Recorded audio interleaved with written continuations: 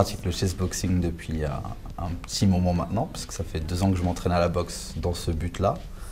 Et euh, je suis joueur d'échecs depuis euh, presque plus de 20 ans. C'est Bronstein qui avait dit euh, il faut se poser la question quelle est l'essence des échecs? Et le chessboxing, c'est un petit peu pareil. Ça veut dire que vu que c'est un peu nouveau, on, a tendance, même ceux qui veulent y participer, à essayer de justifier qu'est-ce que le chessboxing. Et moi, en fait, je pense que les, le, rapport euh, fondamental en fait, entre, les, entre les deux, entre les échecs et la boxe, et c'est ça qui est intéressant de voir ça euh, uni, c'est que, euh, en fait, quelque part, on a, on a du mal à exprimer notre côté primitif dans la société d'aujourd'hui. On est obligé d'être gentil, on est obligé d'être moral, etc. Et, euh, et, en fait, on ne peut plus vraiment partir en guerre. La guerre, elle est à la télé, si on, enfin, pour, pour les gens de tous les jours en tout cas.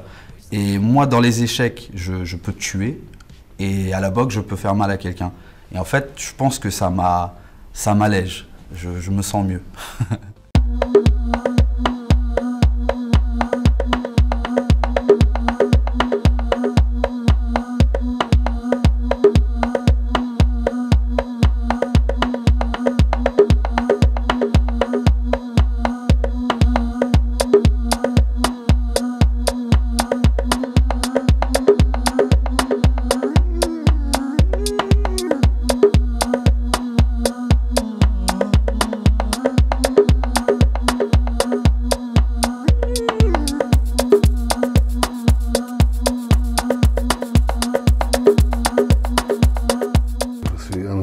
euh, Mikhail Gurevich euh, habite au Belgique, au Bruxelles.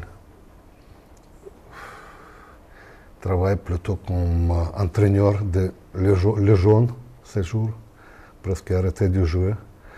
Euh, en effet, mon dernier tournoi était grand, tournoi, échec classique était Capelle la Grande l'année passée. Après je n'ai pas joué aucun tournoi, juste échec rapide de temps en temps. Je peux rencontrer l'histoire quand euh, j'ai aidé à Kasparov dans le grand match au New York et Lyon.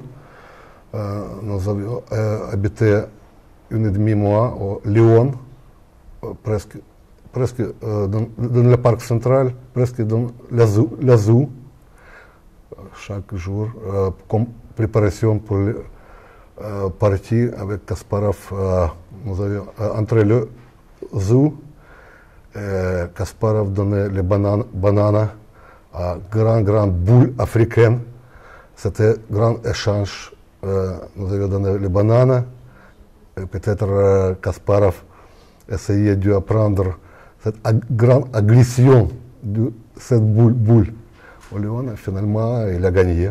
Alors ça, c'est le secret pourquoi Kasparov a battu Karpov.